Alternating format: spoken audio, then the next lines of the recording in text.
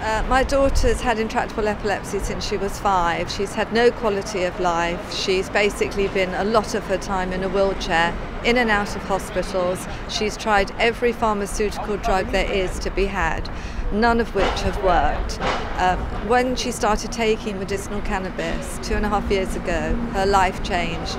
I've sold my home personally. It's cost me two and a half thousand pounds a month to keep my daughter well we can't afford to pay anymore and we're at our wits' end. And yet we have Boris Johnson sending letters out to an individual family saying, Well done, I'm so pleased your son is okay. What about our children? What about all the other children that really desperately need this medication?